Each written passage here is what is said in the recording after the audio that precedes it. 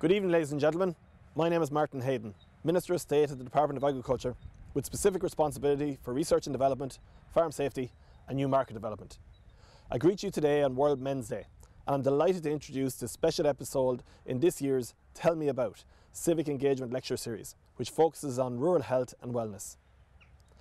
As the First Minister with specific responsibility for farm safety and farm, farmer health and well-being, I am passionate about the measures we can take to ensure we all keep safe and well while going about our daily tasks. Too often in the past, farmers' own health and well-being has been overlooked, left at the bottom of a long list in a busy world. But how can we expect farmers to look after the crops and animals if they aren't looking after themselves?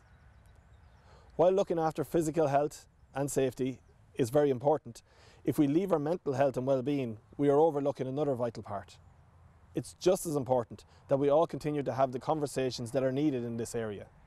We need farmers and all men to look after themselves, to put their mental health, physical health and safety first. In working with the department and key stakeholders to highlight health, well-being and safety concerns, we want to ensure the farmers, when prioritising all the jobs on the farm, remember to prioritise themselves. We need farmers to realise that they are their farm's greatest, greatest, asset, greatest asset. I am honoured to be lending my support to this innovative collaborative initiative which brings together the expertise on Teagasc, Trinity College Dublin and the ITs in Carlow and Letterkenny. World Men's Day, which has a particular emphasis on health, is marked in over 70 countries across the world. We are acutely aware in these times that mental health affects um, one in four of us throughout our life and is not gender specific. This evening you will hear interviews uh, carried out by Teagasc advisors exploring key mental health issues. Billy Keane, the Listowel-based author and journalist, Paul Horan, an assistant professor of nursing in, uh, in the School of Nursing and Midwifery in Trinity, will be interviewed about their mental health odysseys. We also will hear a presentation from Conor Hammersley, a PhD candidate from IT Carlow, outlining his PhD study on firm ground. Conor's research explores the development of a bespoke farmers' health training programme targeted at agricultural advisors in Ireland. Phase one of his study is uh, completed and has uh, explored the perspectives, needs and behaviours of the farming community. Dr Noel Richardson will also provide some context to Connor's research. I was delighted to recently help to launch on Firm Ground training programme, which has been part funded by the Department of Agriculture in conjunction with the Department of Health and the HSE. Building on Connor's research, it will help a train the trainer uh, to develop a train the trainer type programme for delivery nationally to farm advisors and to those who are in regular contact with farmers and agricultural workers. The target is to deliver this programme to 800 farm advisors over roughly a two year period. It is an exciting initiative which recognises the trusted relationship that the agricultural advisors have with farmers and builds on this to train advisors with the skills to take advantage of the opportunity that they get over the farm gate with the farmer. It will allow them to engage with farmers and signpost opportunities for supports where they are needed, and I look forward to seeing the positive outcomes from this project. I'm delighted in particular to support this symposium during this global COVID-19 pandemic. There is no doubt that COVID-19 has had a huge impact and has presented additional challenges to all of us in sustaining our health and wellness. It is important that none of us at this time try to tackle physical and mental health issues alone. If you need help, help with health issues, please do not hesitate to contact your GP or to attend your local hospital. Our health service is still open for business despite the virus. It is important that we all reach out and find a listening ear. I hope you find the contributions to this symposium worthwhile. And I would like to introduce now Declan Doyle, Vice President of IT Carlow, who will outline some of the collaborative research projects that are occurring at present in the IT in Carlow in partnership with a variety of agencies in the agriculture and research sectors.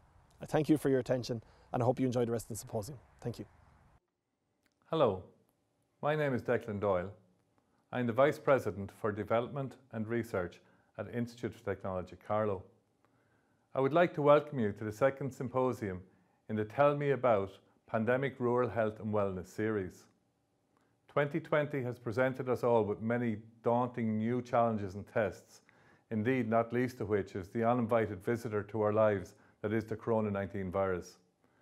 We are delighted to be collaborating with our colleagues at Trinity College Dublin, Teagasc and Letterkenny Institute of Technology to produce this symposium series of talks and presentations. Each symposium addresses a variety of health and wellness challenges faced by those of us living and working in rural communities through the prism of a global pandemic. Here in Institute of Technology Carlow, we are adapting to new ways of working, learning and researching. Our primary focus is the safety and well-being of all our college community.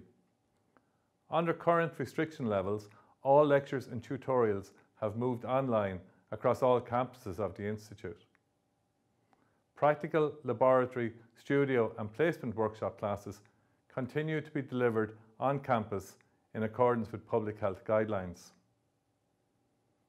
With support from the Department of Further and Higher Education, Research, Innovation and Science, we have put in place a comprehensive programme of supports for all of our college community. From the visible and obvious PPE and hand sanitising stations to the virtual supports for physical and mental health and spiritual and emotional wellness. We have COVID response teams overseeing our response to issues such as our teaching, learning and research, the learner experience, our physical environment and remote working. Our clubs and societies are operating to their maximum capacity to connect with our 9,000 students from over 90 different countries.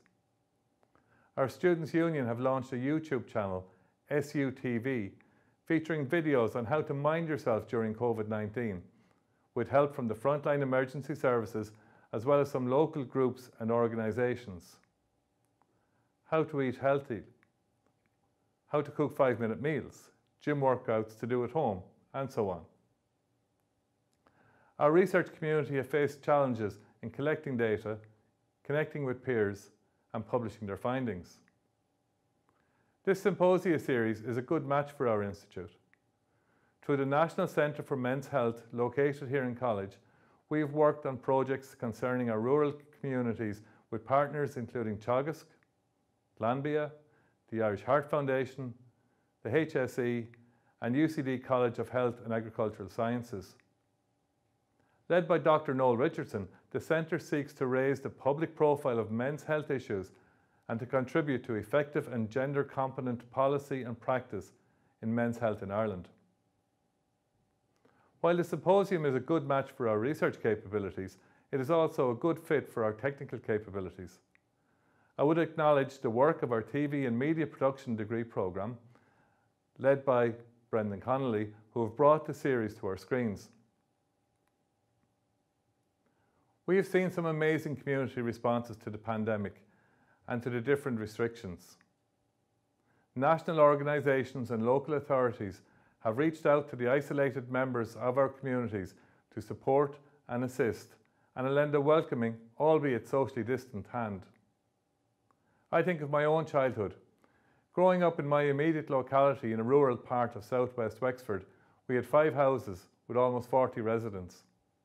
Today there are six houses, but three are currently unoccupied and two of the others occupied by pensioners who have been cocooning since March. This scenario is replicated all over Ireland. Across the globe, we have witnessed the heroic efforts of the magnificent men and women collectively referred to as our frontline workers. We have seen the level of effort and commitment throughout the health services doing great work in supporting patient care while putting themselves at risk. Each of us owe a debt of gratitude to all those who help the ill, who deliver essential services, and who counsel our bereaved. These are challenging times for all of us, but together we will get past this. Scientists throughout the world are working hard to find treatments and vaccines, and there is every reason to believe that they will succeed. While we all wish that we could return to the type of campus life we enjoyed pre-COVID, this pandemic imposes new responsibilities upon all of us. We are grateful to all for taking on these responsibilities collectively and for approaching them with a high degree of determination, creativity and resilience. Tonight I'm joined in studio by Paul Horan, Professor of Nursing and Midwifery from Trinity College Dublin. Welcome, Paul. Hello, Claire. Good evening. Um, how are you finding things in, in the world of academia, I suppose, during this strange time of COVID? Well, I, I never really thought that we'd start making nurses and midwives virtually. uh, there used to be an ad years ago for, uh, I think it was for Insignia, and this fellow was thrown into a machine and he was washed and cleaned, and his teeth brushed, and hair and everything, and he was turned out the other side of it completely washed. so I never thought, I never hoped that nursing would become a virtual endeavour, certainly from an academic or teaching point of view. But of course, as our nurses are not virtual in reality in COVID 19, or our midwives, they're on the front line, um, and they're being among the most infected people with this horrible disease. Um, even some of my own tutees have been affected uh, by COVID, and we don't know in the long term how that will affect anybody really. Okay, very good. And I suppose then there's the whole mental aspect to being on the front line as well, Paul. It is, um, and I've been running a, a, module in Trinity for 15 years now called Reflective Practice, which is really about teaching nurses and midwives how to think about all these really challenging experiences that they have and think about them in, in safe ways um, and not in ways that would challenge their mental health. And we're forever encouraging them to seek whatever supports they need, you know, to deal with these really, really challenging situations. But, you know, COVID is like no other virus that we've ever witnessed. Yeah. It's a 100 year event and um, it's challenging. I think there is some good news about COVID. I think um, the death numbers are not as high as they were in the first surge, um, but it's early days yet. And I'm hoping that lockdown will help. Uh, numbers have dropped today again, I think to 100, Yeah. uh, 720. Um, but it's going to be a long winter and a very different one for everybody. Exactly. And Paul, I suppose just honing back in on the mental health issues, have you yourself experienced mental health issues at any stage during your career? I have. Um, um, last year, I would have spoken World, World Men's Health Day about um, the bipolar express. Um, I myself suffered from bipolar for most of my life. Uh, I wasn't diagnosed until my early 40s, uh, about 10 years ago, um, and suffered with extreme mania and extreme uh, depression, um, uh, extreme highs and extreme lows. Um, and, you know, I was in denial a lot of the time, um, but eventually, with some really good help uh, from my colleagues, from an excellent psychiatrist, um, and from a circle of friends, um, I decided to get treatment. Um, and for the first time, it was mostly medication. And then after that, then uh, sleep was a huge problem. I was a bit like Maggie Thatcher. I hate to mention that woman's name in public, but I never slept maybe for two or three hours a night. Um, and it's not good for your health at all. Yeah. Um, and I'm sure there's many people out there tonight with sleep disturbances, whether they be for psychological or physical reasons. Um, so I did go and get the assistance, um, and then I had another um, extreme bout uh, about five years ago, and I took myself to the John of God Hospital in Dublin, um, and I had a proper uh, medical work down. Um, uh, but the most important part of that treatment was to get a not only medical intervention, but a thing called a WRAP program. And WRAP is spelled not as in the rap music, it's spelled W R A P, and that's a wellness recovery action program. Okay. And I'd really encourage anybody out there with mental health. Yes, medication is really important, and some people will need to be on medication for all their lives. But I think it's a combination approach, and the WRAP program helps the, the individual with mental health issues to take control of their lives, and it creates a, a, a daily program of being. Um, it's structured um, and it really helps. It also looks at your triggers and things that you shouldn't do that might challenge your mental health. Okay. Um, but it may, it's changed my life completely. It's, it really has. Um, and I'm just so grateful to have, you know, a WRAP program. I think everybody probably should have a COVID WRAP program to get through the physical and mental challenges that uh, are placed upon us. I think the greatest challenge is probably a lack of social connectivity Yeah. for everybody. Real social connectivity, not the virtual stuff, which is really helpful and it's all we've got at the moment. So, you know, I suppose I'm a very lucky person. Um, I, I always wanted to get well. Maybe my my luck was born out of the fact that I'm a poet and a writer, um, and I kind of always saw being a bit mad as a badge of honour, I suppose. Most of the grey writers are all a bit crazy. Spike Milligan is one of my heroes. Um, but uh, for anybody out there, you know, reach out, you know, pick up the telephone, use WhatsApp, connect with people. Yeah. The research tells us that it's connectivity that is the greatest enabler of good mental health. And Paul, I suppose bearing in mind that we're living in this virtual world with COVID at the moment, how do you think it's affecting, especially the first year students, maybe their first time away from home in college? Well, um, a lot of them haven't got away from home, have Yeah. they?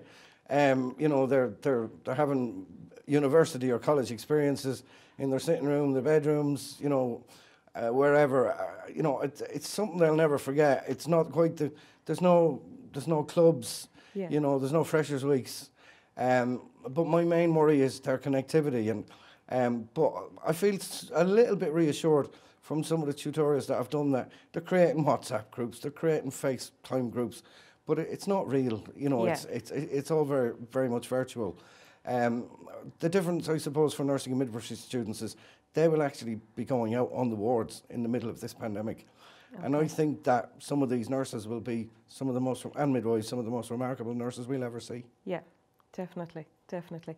So I suppose just following on then, how do you think we can each, as individuals and as communities, promote and nurture, um, you know, positive mental health in the coming months? Well, I kind of thought about this, um, and I thought, well, seeing as I have a WRAP program, I thought I'd share maybe a COVID WRAP program with people. And I've kind of called it uh, Getting Through COVID Lockdown by Being Hopeful. And hopeful is like an acronym. Okay. So the first thing is having a structured daily routine, for example, and keeping yourself organised in as many ways as possible. Regular meal times, health and diet, um, reduce snacks, and get regular sleeping habits get, uh, with regard to going to bed and getting up. Always for the outdoors. I know the weather's not going to be great, but I think we were quite lucky, you know, for some of the time with Exactly. COVID, the weather was good. Get out, get some fresh air. Uh, P is for physical exercise. There's loads of really good physical exercise things, even for those who can't go outside Yeah. on the telly. Um, e is for enjoyment. Do something you enjoy every day. Okay. Um, F is for fun. Try and create a sense of fun. You know, watch the comedy channel. Do something. Laugh at least once a day. U is for unplug. I think we all need to unplug the phone, the Sky News, the Facebook, the WhatsApp, you know, for periods during the day. Exactly, yeah. Um, I think L is for learning. I think challenge yourself to learn a new skill. Um, and maybe we've all had enough of the COVID diet the first time. Maybe not cooking. Maybe do something else that's not going to affect your waistline. N is for the news. I would recommend watching it sparingly at the moment because it's rarely good. Okay. Uh, e is for entertainment. There's plenty of concerts and arts and all sorts of good things on the telly. Sleep. Please try and maintain your sleep pattern. It's really important. And the risk with lack of routine that can be affected. Yeah. And the final S is for self care. Bathing and showering. There's nothing like a bit of pampering to lift your spirits, even in these times.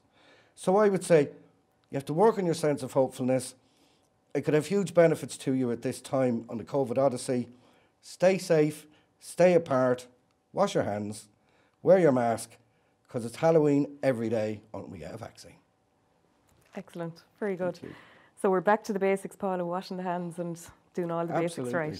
Okay. Um, and I suppose just to finish up there, then, um, if you could give maybe a small bit of positivity or how people can, you know, reinforce positive mental health over the next couple of months, what would you, what advice would you give to people watching tonight? Well, I, I've written a, a, a wee poem of hope okay. because I think hope is the most important thing for anyone's mental health. So I'm going to share this with you. Dream hopefully. There will be a post COVID world. Life will be different for a while, unpredictable maybe. Life at the moment is not what it seems, but it doesn't mean we can't have dreams. So even during COVID, daydream hopefully. Dare to hope. It will, it, it will help you to cope. Dare not to let COVID rip reality seam by seam. Dare to change your appearance. Even if the barbers and the hairdressers aren't open, that could be quite an interesting thing to do. Dare to believe in yourself. Dare to place disbelief on a well made shelf. Dare to be brave and see that this virus will leave us, this too will pass. Dare to hope, and together we'll all learn to cope. Thank you. Thanks, Paul. That was some lovely advice that you have for people tonight. So I suppose that's the end of our interview with Paul, and we'd like to thank Paul for um, giving us an insight into how he has dealt with mental health over the years.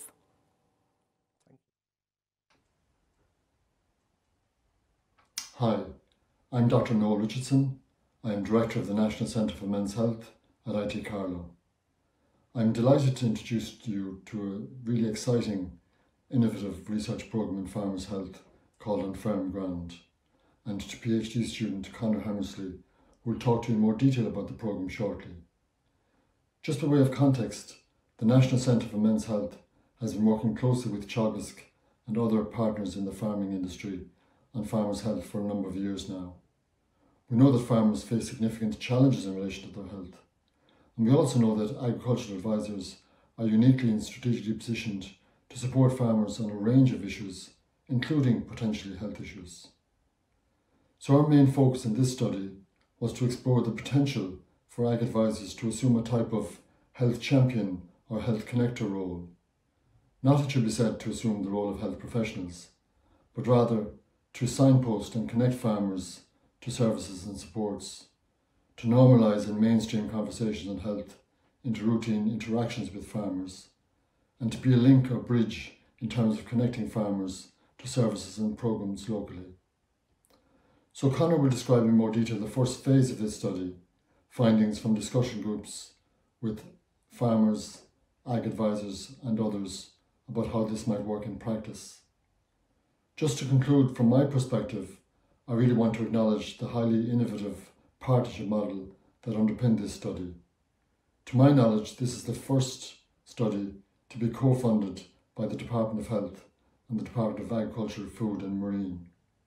Other parties include the HSE, Teagasc, WIT, the Men's Development Network, and ourselves here at IT Carlow. And because a project such as this inevitably straddles policy, research and practice, I think the nexus or catalyst for bringing these domains together and bringing the project to life essentially has been this unique partnership model. So, onwards and upwards. The beauty of Ireland's landscape is legendary and predominantly an agricultural one, and farmers have been its gatekeepers for generations. Traditionally, farm safety has dominated farmers' health literature, and for good reason. This project, titled On Firm Ground, developing a national farmers' health training programme targeted at agricultural advisors in Ireland, aims to broaden out that focus to a more holistic focus on mental and physical well-being. So in brief, this is about training up agricultural advisors who meet farmers on a regular basis to equip them with the skills and competencies to be able to engage with farmers on topics associated with mental and physical health. So my name is Connor Hammersley and I'm the PhD researcher on this study. And the background of this project is that there is a substantial body of evidence that suggests farmers experience a disproportionate burden of health problems particularly in relation to mental health problems, as farming is one of the highest occupations associated with suicide. Additionally, due to the isolated nature of farming, farmers are seen as a hard to reach group. A key asset that we have is that agricultural advisors are uniquely positioned to support farmers on health issues, and our findings suggest that although they report encountering health problems, particularly in relation to mental health problems, they feel ill equipped in their capacity to engage with farmers on these matters. So our study is broken into four distinct phases, and the first phase of that, which I am going to discuss in this presentation, is an exploration study of farmers and other key stakeholders' experiences and perspectives in relation to farmers' health and help-seeking behaviour, and to provide clear, actionable recommendations to inform the design of the training programme. The title of this study is The Most Important Cog in the Wheel, Prioritising Farmers' Health Through a National Training Programme. And this quote, the most important cog in the wheel, was a quote from a focus group participant and it was used in the context that farmers had lost sight of this. They had lost sight of the fact that their health is the most integral aspect to the overall welfare of the farm, and rather their inbuilt mindset was to soldier on and stay strong in the face of adversity and put everything else above looking after themselves, as illustrated in the following comment by one female farmer. You know, there was this conscious thing. If I was going to get my hair done, I was selfish. To go to the doctor to check something out, I was selfish. You know, because maybe you're only looking after yourself and not thinking of other things. The findings of this study are based on the analysis of the focus groups that we conducted with farmers, different farming organisations, agricultural advisors and spouses of farmers. So what did we find? Our findings are broken into four distinct themes. The first one is in relation to farming, rural masculinity and identity and this is against a backdrop of farming being a male dominated occupation and traditional masculine norms standing in the way of farmers engaging in their health. Our findings suggest that farmers' identity revolved around the farmer as a hard worker, battling against environmental and economic obstacles, and exerting his authority over the natural landscape. all the while suppressing emotions and help seeking behaviour. There was a sense that real farmers don't ask for help, that seeking help was like an admission of failure and had an emasculating effect on the traditional norms that farmers felt they had to live up to, with one male farmer saying, I would say the old perception of we are hardy and we are men and we are okay, we don't have problems, that's the perception. There was relational aspects of farming and rural masculinity, whereby the female of the household was seen as the custodian of farmers' health, and this would defer responsibility away from the farmer when engaging with health. Health was seen as female business and not something hard-working men had time to engage with.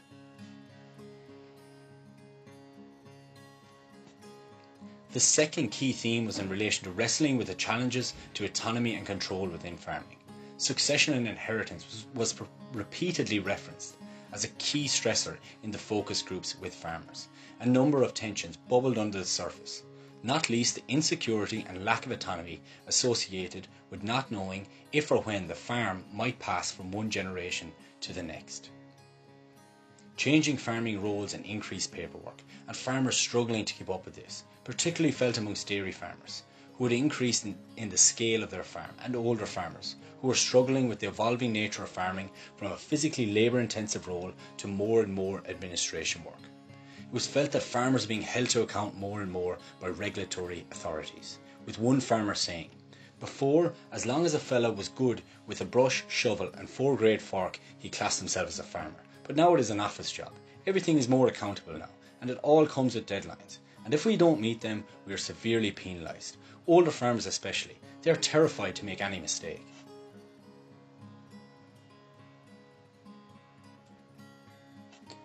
The third key theme was in relation to isolation and the broader demise of rural communities. The unravelling of meitheal in rural communities, that sense of mutual support and communal way of working, which were once the traditional hallmarks of a rural community, had been lost.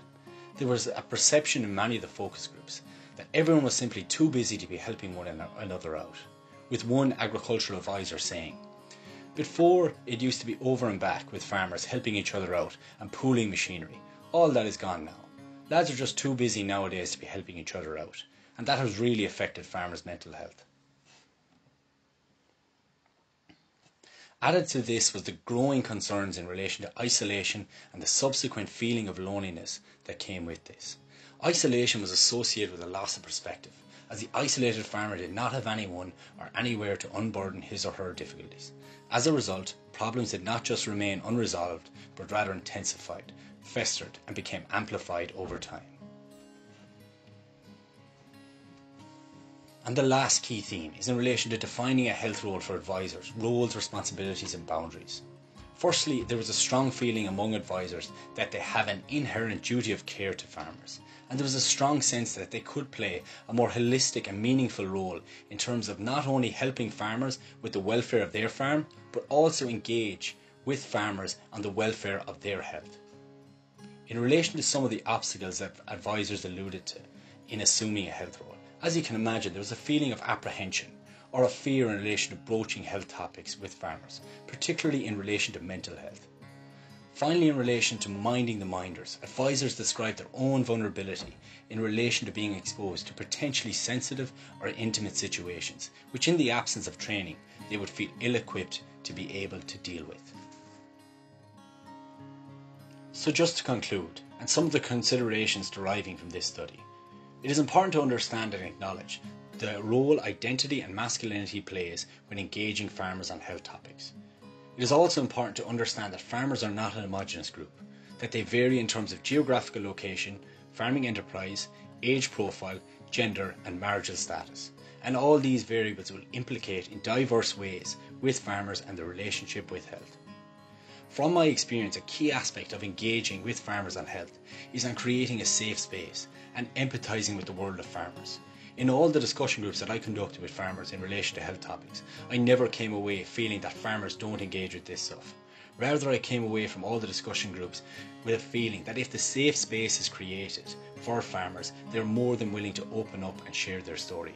And that is the challenge, creating that space. Granted I used the word farmer throughout this presentation, but solely identifying these people by their occupation does not do them justice. They are family members and they are community members.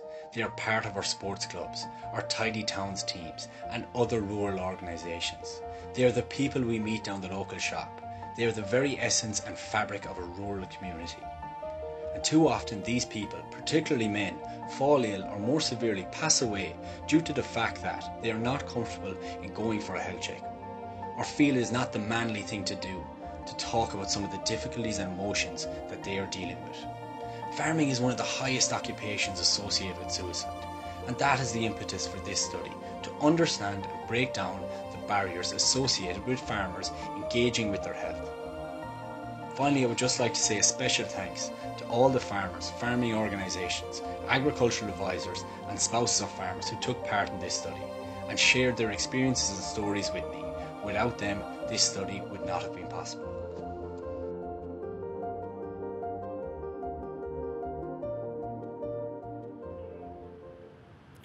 Hello, my name is Michael Summers, and tonight I am joined by publican, author, journalist, honorary Corkman but true son of the kingdom, Billy Keane. You're welcome.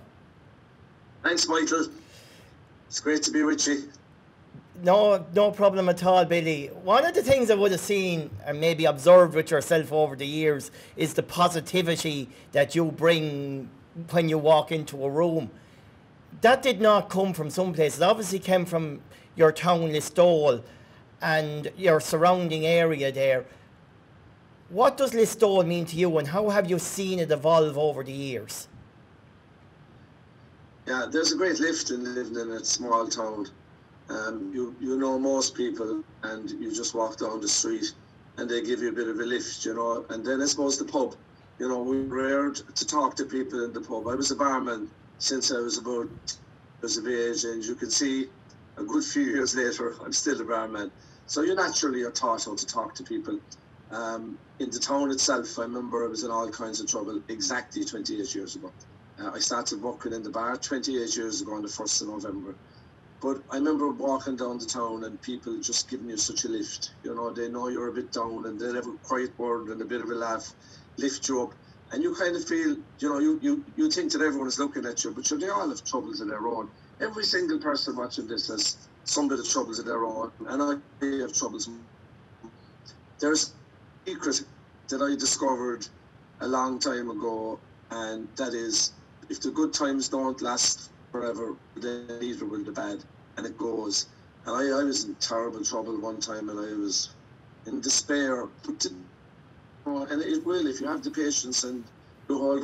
And then when you get feeling a bit better, say to yourself, "Geez, I'm glad now that I that I that I can go on." You know, um, there's a there's a saying really that a lot. Um, it's it's got to do with what you tell yourself. Okay, so your thoughts are basically what you feel.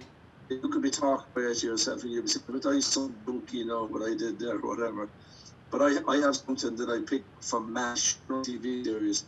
And in MASH, the helicopters fly in and it says on the tannoy, it says incoming wounded. And I treat those negative thoughts that way. So when they start coming at you, I keep saying incoming wounded, incoming wounded, and I warn them to stop.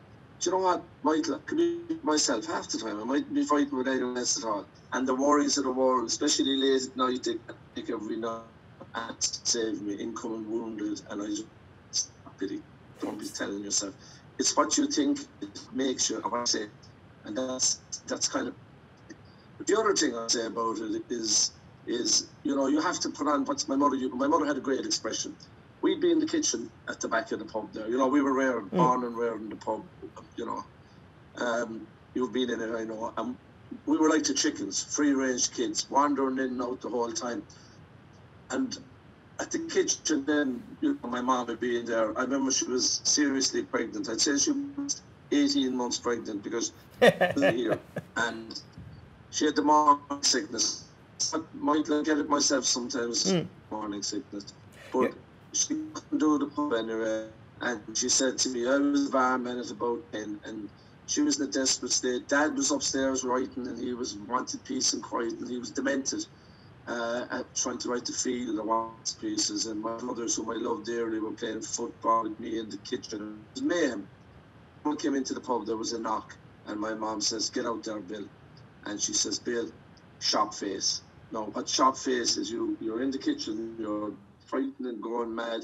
You go out to that counter and you go, and hello, Michael, and love to see. You build yourself up into good form. What happens after is that you just stay in good form and it becomes part of who you are. It sneaks up in you, the good form, almost imperceptibly or subconsciously. Um, your mother was a remarkable woman, very practical. Uh, do you see that you have many of her traits? I, I have um, a lot of her traits in that um, I, I'd be tough enough when it comes down to it, but I, I hope I have a softer side. But as regards the practicalities of life, my mother was years ahead. I'm a bit of a dreamer, uh, and at times I forget stuff, and it's a constant battle for me to, to, to be efficient. I have to work every day, but I'm better at it, and you get by just practicing. So, say if you're down the farm and you're after and got to tons and offer you lose gallons of milk or something happens. Well, it's a learning experience. So what you do is you say, I won't do that the next time. And you don't. And sometimes you lose, but you win. Like if you look at it that way, when things go wrong, that's actually the best day you ever were. The day something goes wrong is the best day you ever are because then you know what you have to do and you're fighting and you're kicking up and you're trying your best to get back to where you were. I kind of see this whole COVID 19 shutdown as a challenge, you know, to reinvent myself, reinvent the bar. Um, I found the last one, the first lockdown, I didn't, I didn't do well at all. And I was, you know, I was writing for years about positivity and everything, and I didn't do it right because I didn't go about it right. It was a bit of a shock to the system. I give myself that much, but I kind of went into it and I didn't have a plan, and I was kind of on the bar and I'd be looking at the four walls. And one night I was I went down and I did something I never do. I had a few drinks in my own. And the next thing is I started singing. I can't sing, but sang a few bars of a song. And you know what it was? Even just to sing the bars of a song, it lifted me up. And I said to myself, and I made a huge decision. And I think it was one of the most important decisions I've ever made in my life. And I said to myself, you know, it's easier, far easier to be happy than to be sad. Yes. If you think about it, like happy is a like it, there's no repercussion happy, but there are for being sad. So, like if you're, and I know some of us can't help it, and I get the blues myself. God, that's that's a given. But most of the time, I get over it by saying it's easier to be happy than sad. And if you think about it, being sad, you're in bad old form, you're worrying, you're you're not sleeping, you lose your, uh, you, you know, you might. You, you might not even want to, to make love to your beautiful partner in life. You might everything kind of, but if you think about it, isn't it really put on the shop faces? Like if I had a choice of the, the hardest thing in the world to be, and that is the press. It's so hard, and I know some people can't help it, and I'm with you 100%. But just that, like, it's easier to be happy than sad, and it might you out a little small bit, you know. So, so you would have evolved different tools over the last maybe six, seven months at this stage. Yeah, I did. Yeah, it, it, it, I suppose a good a good walk as well if you can manage it. The last lockdown, there was days I couldn't walk, and it was beautiful weather. Do you remember the weather, Mike? No, it was super. Yeah. Like I was the only pale person. I was the only pale person in North Kerry during this because I just, I kind of, I, it, I let it get the better of me, and but I found a way. You will find a way, you know.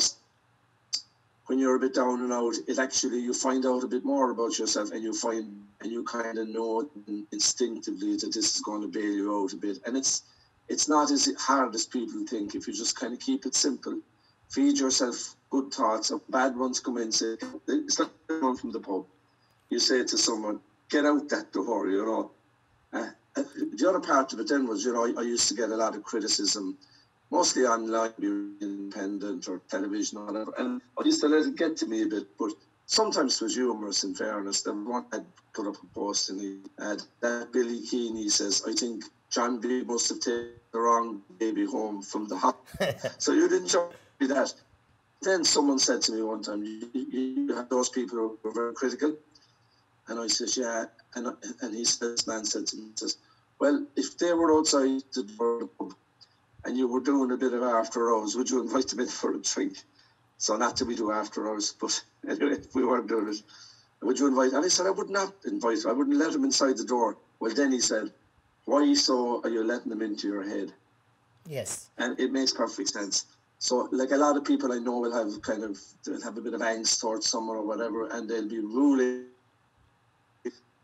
You know, there could be two people in the room, you and the person you're thinking about, who's taking over the space in your head, with rent for your property. So forget him. Don't let him in. You know.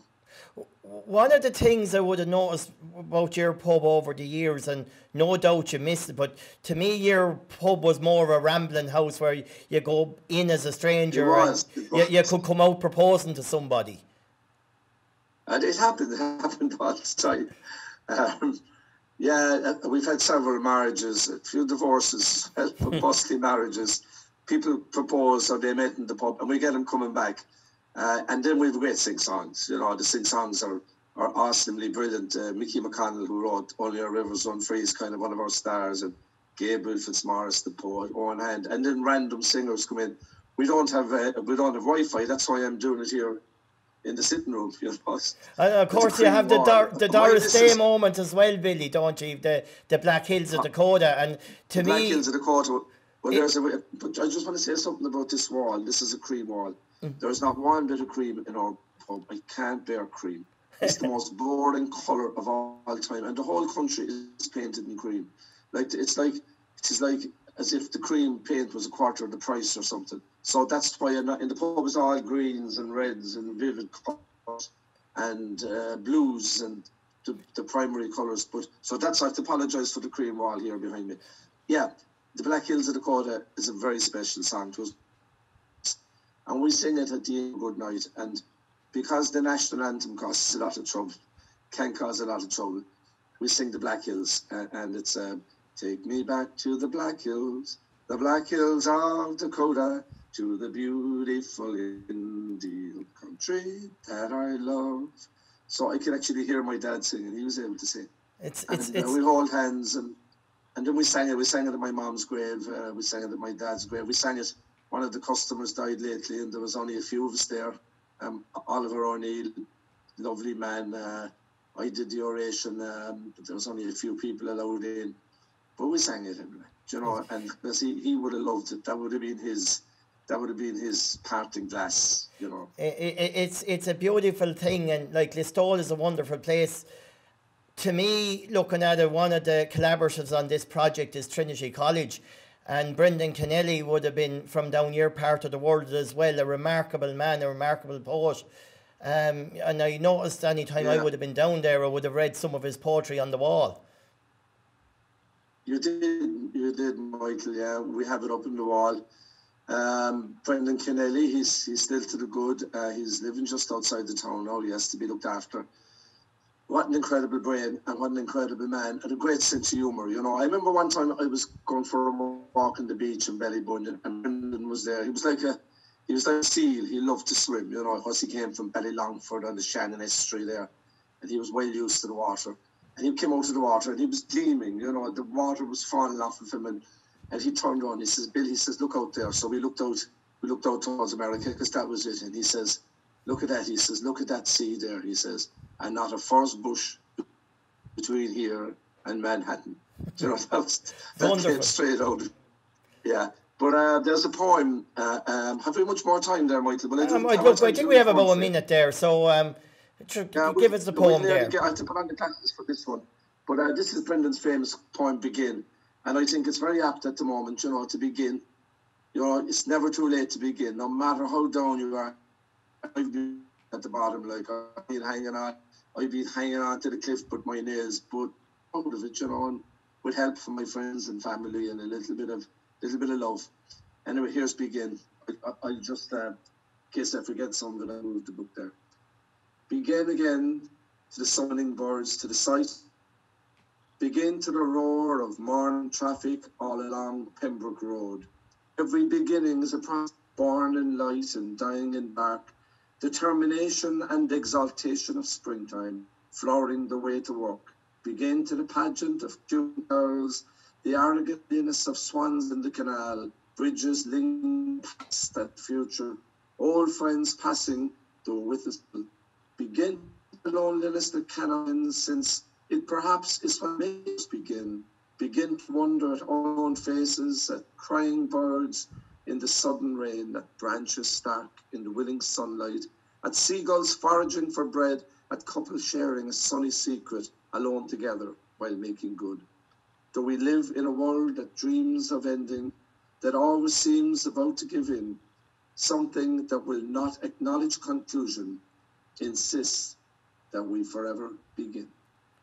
That is just a wonderful piece of writing, and it definitely sums up a day like today, as in World's Men's Mental Health Day. Billy, just to say on behalf of Teagasc Trinity College, IT Carlow and Letterkenny, thank you very much for a wonderful insight into how to deal with issues that indeed we all face on a day-to-day basis and some people unfortunately think they have to face them alone. So thank you very much Thank you. A great honour to be asked. That is the end of the second programme of the Tell Me About series. For anyone experiencing any difficulties, remember to please talk. But the most important thing is to say something when you talk. If you are the chosen one to listen, please listen with a welcoming ear. Remember, keep active, keep positive. We are all unique. To finish off tonight's episode, we are going to the foothills of Slievenamon, to Crookanower, where John Birmingham has written a song for tonight. So to play us out, John will give us the happy song. Good night, stay safe.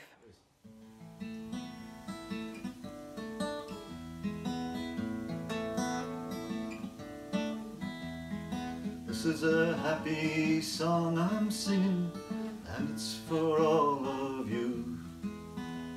I hope you can feel the sun is shining wanted to shine for you.